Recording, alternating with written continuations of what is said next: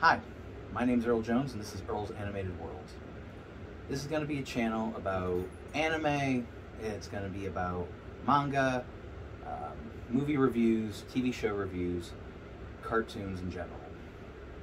Um, I will be doing side sh- uh, shorter episodes every now and then of unboxings, of figures. Um, really love anime figures and unboxing. I do collect a lot of them. Um,